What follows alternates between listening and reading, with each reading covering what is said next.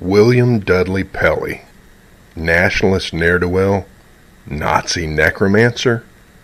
Chief Pelley of the Silver Shirts entered the public eye at a time when outlandish heroes and villains were just coming into vogue.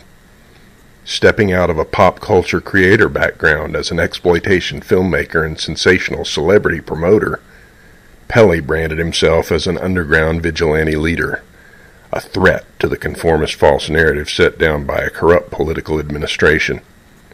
A few on the fringe genuinely loved him. Most would find him a convenient boogeyman.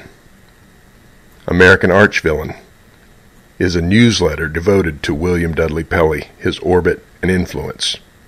You can find it at archvillain.substack.com.